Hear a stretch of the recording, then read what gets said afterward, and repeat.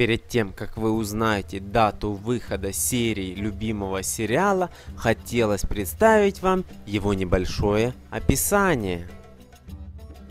Слова Зихры ударят Амира в самое сердце. Салим успокаивается, когда продает мастерскую и возвращает деньги Амиру. Так как теперь считает, что вернул дочь обратно, Зихра притворяется счастливой, чтобы не расстраивать отца, однако у нее душа болит. Хотя Амир и пытается объяснить ситуацию, но у него ничего не получается. Он сделает последнюю попытку поговорить с Салимом. Однако слова Зихры бьет его больнее, чем Салима. Сабах получила право на продажу виллы и к тому же может и сама проживать там. Посмотреть 192 серию вы сможете после 16 октября.